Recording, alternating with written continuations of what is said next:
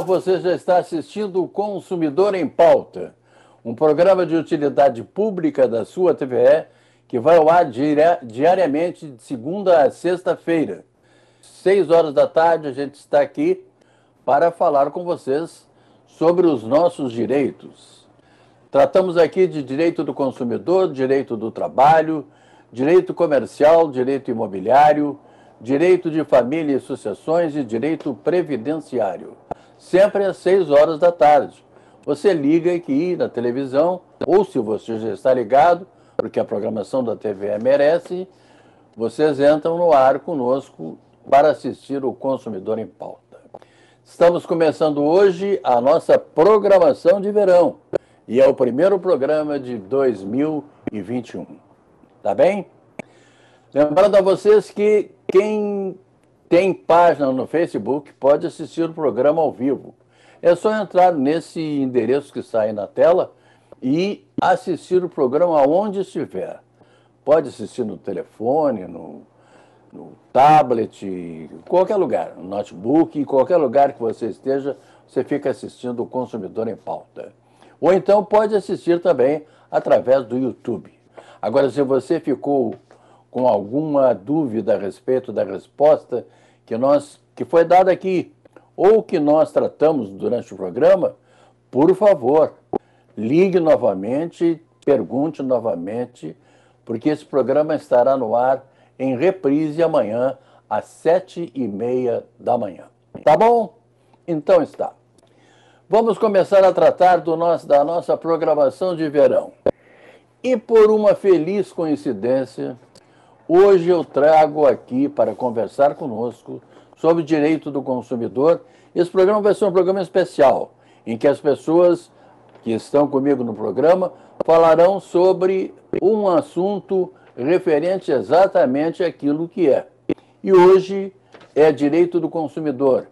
Então eu tenho um prazer muito grande de ter aqui ao meu lado, ele lá na casa dele e eu aqui na minha, um dos fundadores desse programa, o professor Cláudio Bonato. Boa noite, professor, tudo bem?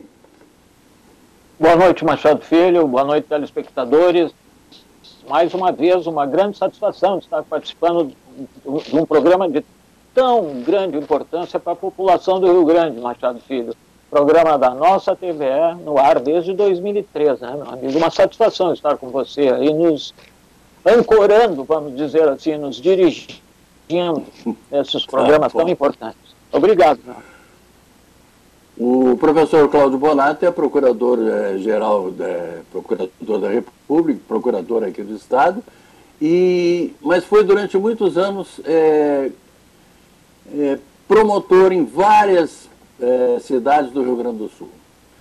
Mas, professor, eu gostaria que o senhor começasse falando exatamente sobre o Código de Defesa do Consumidor que o mundo inteiro considera, quem sabe, uma das leis mais importantes já feitas no mundo. Pois não, Machado Filho, eu agradeço a oportunidade de colocar ao nosso telespectador as coisas importantes do nosso país, e nós temos muitas coisas importantes.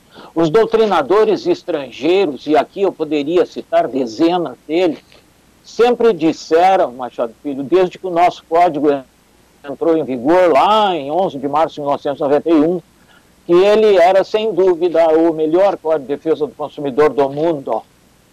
E até hoje eles afirmam.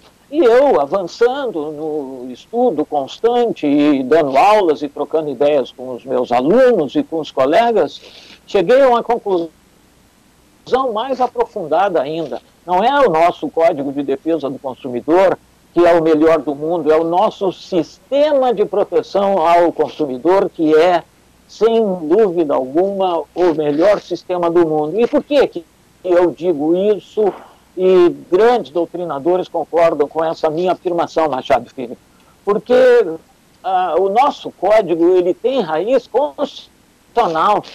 Quando estavam elaborando a nossa Constituição de 1988, e que telespectador é uma excelente Constituição, excelente Constituição. Eu me recordo, porque acompanhei não é, a tramitação do projeto de Constituição, lá da Comissão Afonso Arinos, e o Machado Filho deve se recordar, essa, esse projeto ele foi encaminhado ao Congresso Nacional, mas como havia lá né, o poder constituinte, aproveitava se quisesse, mas muita coisa deste projeto de Constituição foi aproveitar.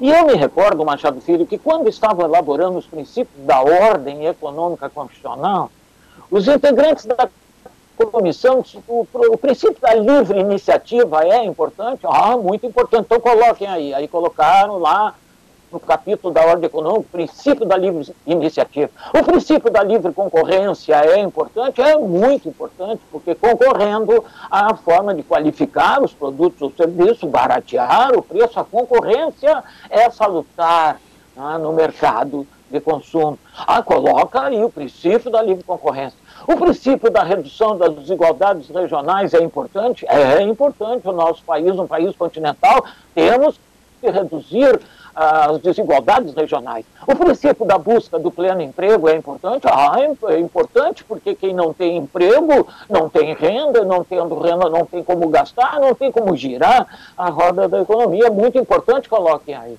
E o senador Afonso Arino, com aquela experiência toda, né, colocaram ali sete, oito princípios, hoje está no artigo 170 da Constituição Federal, se o telespectador tiver curiosidade,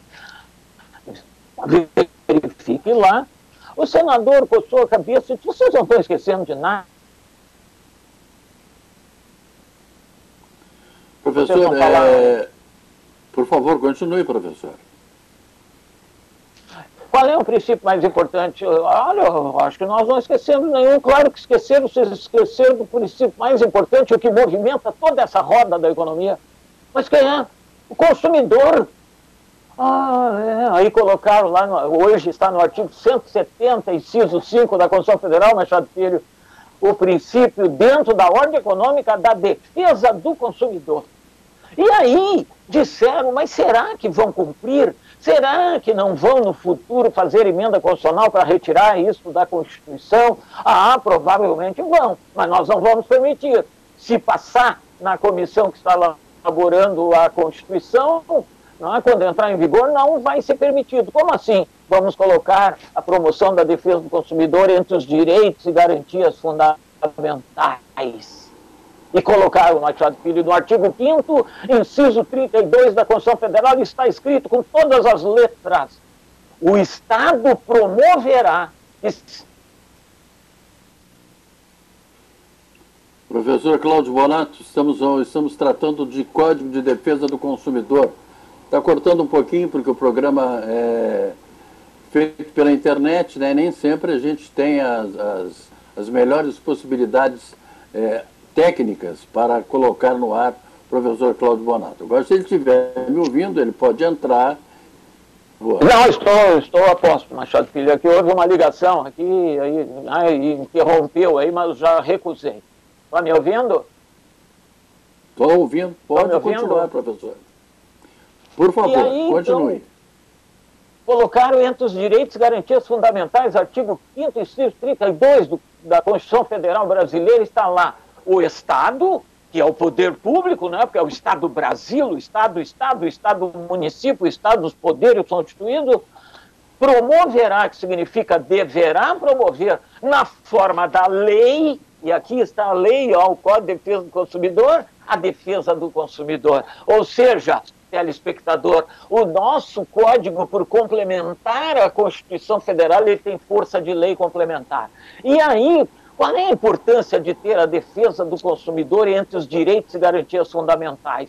Lá no artigo 60, parágrafo 4 da Constituição Federal, está dito que não será objeto de emenda constitucional a qualquer emenda que venha a ferir os direitos e garantias fundamentais. Não são passíveis de emenda constitucional, ou seja, esta, este princípio da promoção da defesa do consumidor, Machado Filho, permanecerá nas nossas constituições para todo o sempre.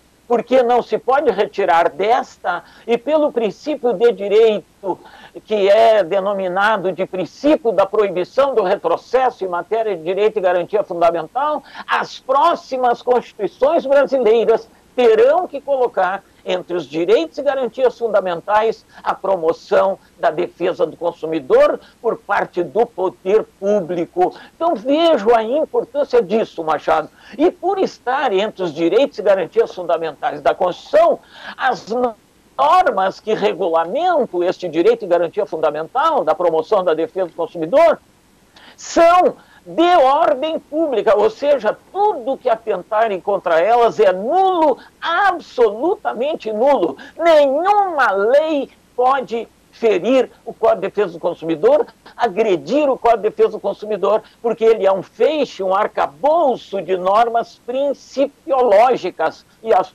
normas principiológicas sobrepairam sobre as normas, né, as, as regras jurídicas de conduta, de organização e por aí afora. Então vejam, telespectadores, a, a importância que, nem, que tem o nosso código, a importância que o legislador constituinte deu a este ente que move a roda da economia. Eu costumo dizer aos meus alunos, Machado Filho, e aproveitando o exemplo agora do ano que passou, o governo federal deu auxílios econômicos a diversas pessoas que ficaram desempregadas, né, que não tinham, que estavam na informalidade. Imagine o governo, ele deve ter fabricado dinheiro ou ter usado as suas reservas. Agora imagine se esses milhões de pessoas, 40, 50 milhões de pessoas que receberam esses abonos emergenciais, colocasse todo esse dinheiro embaixo do colchão.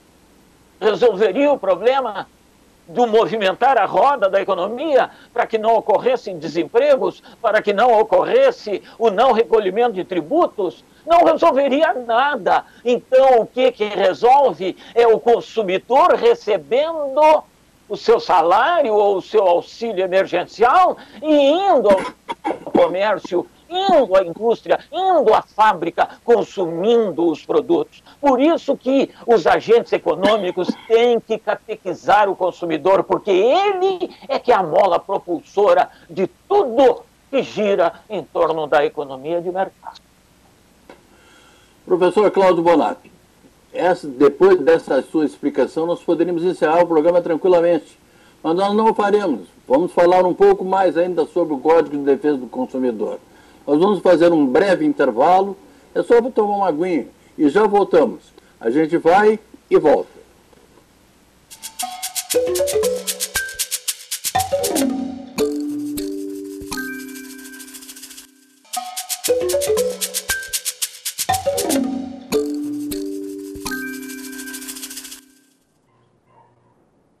Você está assistindo o programa Consumidor em Pauta. E eu estou tratando hoje de direito do consumidor. Estou começando o primeiro programa, estamos em pleno primeiro programa de 2021. E eu tenho o prazer muito grande de conversar nesse programa que marca o início da nossa programação de verão com o professor Cláudio Bonato sobre o Código de Defesa do Consumidor. O professor Cláudio Bonato, ele pede que chame ele de professor, porque na realidade ele é um dos melhores professores que eu conheço e já tive testemunho de muitas pessoas que disseram isso, é, sobre o Código de Defesa do Consumidor. Mas ele foi promotor antes de, de, de ser procurador.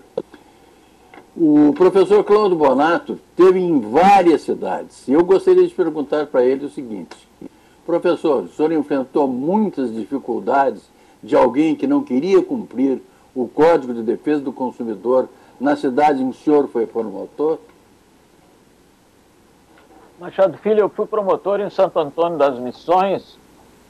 Saúdo a população de Santo Antônio das Missões e você conhece São Luís Gonzaga, Santo Antônio, a 30 quilômetros de São Luís Gonzaga. Meu abraço a toda a população.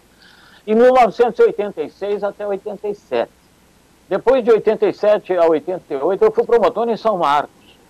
E em 89, de janeiro a setembro de 89, fui promotor de justiça em Encruzilhada do Sul, no tempo que não tinha asfalto. E depois eu fui promovido para Novo Hamburgo. Pois, meu amigo Machado Filho, nessas quatro comarcas não tinha o Código de Defesa do Consumidor ainda. Mas nós tínhamos uma lei extraordinária com a qual nós procurávamos defender o consumidor, o meio ambiente, o patrimônio histórico, cultural, etc. A Lei da Ação Civil Pública, Lei número 7.347, de 24 de junho de 1985. Telespectador, Machado Filho, esta lei é tão importante, ela tem 24, 25 artigos, ela é tão importante que ela deu ensejo a muitos princípios que estão na Constituição de 1988. Veja, ela é de 85. Então, com base nesta lei, que dizia que o Ministério Público tinha a incumbência de defender o consumidor, mesmo não tendo um código de defesa do consumidor, nós procurávamos nos valer das leis federais genéricas, da, do Código Civil, por exemplo, das leis estaduais e principalmente das leis municipais que nós procurávamos verificar em que sentido protegia o, consumidor e, com base na lei da ação civil pública, então acionávamos o poder judiciário para que fosse cumprida a lei. Eu me recordo do plano, eu acho que eu posso citar o nome aqui, porque né, o plano Sarney, onde eh, havia os fiscais do Sarney, muitos estabelecimentos não cumpriam aquele tabelamento de preço. E é óbvio que nas cidades por onde eu passei, na época, isso desembocava na promotoria de justiça. Então, nós, com base naquelas leis específicas, que não era o Código de Defesa do Consumidor, que não tinha nascido ainda, tomávamos as providências legais. Eu comecei a ter contato, Machado Filho, com o Código de Defesa do Consumidor na comarca de Novo Hamburgo. Veja, eu passei por São Marcos, saudosa memória, minha saudação a São Marcos. Passei por Encruzilhada do Sul também, de saudosa memória, sempre com a família, a Dalva e os filhos. E quando cheguei em Novo Hamburgo, no dia que a Constituição Federal estava fazendo um ano, ou seja, em 5 de outubro de 1989, já se falava no Código de Defesa do Consumidor, porque o legislador constituinte, lá no ato das disposições constitucionais transitórias, deu 120 dias para o legislador o Congresso Nacional elaborar um código de defesa do consumidor. Óbvio que esses 120 dias não foram obedecidos, extrapolou. Mas eu acompanhei, inclusive designado pelo Procurador-Geral de Justiça da época, o nascimento do anteprojeto lá no Ministério da Justiça, que veio a dar sustentação a esse magnífico Código de Defesa do Consumidor. Então vejam que desde Novo Hamburgo, e quando eu fui promovido para Porto Alegre, Machado Filho, em junho, dia 1 de junho de 1991, o Código de Defesa do Consumidor, que tinha entrado em vigor no dia 11 de março do mesmo ano, 91, tinha três meses. E eu vim para um órgão que tinha a incumbência de defender o meio ambiente, consumidor e o patrimônio histórico-cultural, a chamada Coordenadoria das Promotorias de Defesa Comunitária. Quando aqui cheguei, o colega coordenador Bonato tivesse experiência com esse código em Novo Hamburgo, mesmo antes dele entrar em vigor. Eu disse, sim, eu dava palestras na, na ACI, em diversos órgãos lá de Novo Hamburgo. Então, tu vais trabalhar com a defesa do consumidor. Então eu fui trabalhar com a defesa do consumidor. Em, em outubro daquele ano, o colega foi promovido a procurador, e naquele ano de 91, em outubro, eu fui guindado a coordenador das promotorias de defesa do consumidor, do meio ambiente e do patrimônio histórico-cultural. Então vejam, Machado Filho, que eu acompanho este código desde antes dele nascer.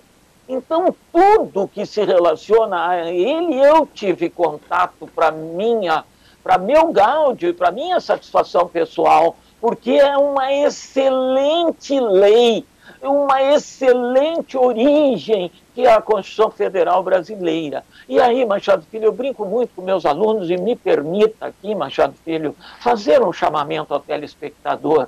Nelson Rodrigues, né, famoso dramaturgo, né, até poeta, lá em mil, na, na, na, nos idos de 1960, ele dizia que o brasileiro tinha complexo de vira-latas. E às vezes eu dou razão a Nelson Rodrigues, porque nós só procuramos as coisas ruins no nosso país, Machado Filho, enquanto que temos coisas excelentes. A Constituição Federal Brasileira, o Código de Defesa do Consumidor, o Estatuto da Criança e do Adolescente, o Estatuto do Idoso, o Estatuto das Cidades tudo é elogiado pelos doutrinadores estrangeiros que nos visitam, Machado Filho. Então, por que não nos ufanarmos também de termos leis de país de primeiro mundo. Ah, mas como é que pode ter lei de primeiro mundo num país de terceiro mundo? Mas se nós não conseguirmos nos erguer por força própria para o primeiro mundo, pelo menos que as leis nos levem com toda a sua pujança, com toda a sua clarividência para o mundo que nós almejamos, Machado Filho. Um mundo de primeiro mundo, onde os nossos filhos, os nossos netos e toda a nossa descendência tenha orgulho de se ufanar e dizer: Eu sou brasileiro. Por isso, Machado Filho, a grande importância que tem esses programas da TVE, dizer ao nosso povo: acreditem nas instituições. Nós não temos só coisas ruins, não. Temos coisas extraordinárias ditas por doutrinadores, que eu ficaria aí mais de meia hora falando o nome de quem escreve lá na Europa sobre o nosso sistema de proteção ao consumidor, o meio ambiente e por aí afora. Tá? Nós somos modelo a toda a Terra? Não sei. Mas ao continente europeu, não tenho dúvida, viu, Machado Filho? Por isso a satisfação de estar conversando com o nosso telespectador nestes programas especiais, sabe, Machado? Estou à tua disposição para qualquer questionamento, meu amigo. E eu tenho certeza absoluta, professor, que depois de tudo isso que o senhor disse a respeito do Código de Defesa do Consumidor, ninguém mais tem dúvida nenhuma que o senhor é, é, tão bem defendeu o Código de Defesa do Consumidor, tão bem conhece o Código de Defesa do Consumidor, que falou essas coisas todas. E muita gente deve ter ficado aqui de boca aberta, pensando, ouvindo e meditando sobre tudo que o senhor disse aqui. Parabéns, viu, professor? O senhor realmente é um mestre em Código de Defesa do Consumidor em defesa da nossa economia. Obrigado, Machado. Estou à tua disposição. Eu vou agradecendo a todos vocês, lembrando que o professor Morato voltará ainda daqui a duas semanas para tratar mais um pouco de Código de Defesa do Consumidor. E eu lembro a todos vocês que amanhã, terça-feira, eu estarei de volta aqui, 18 horas, para tratar de direito do trabalho. A todos vocês, muito obrigado. Muito boa noite e até lá.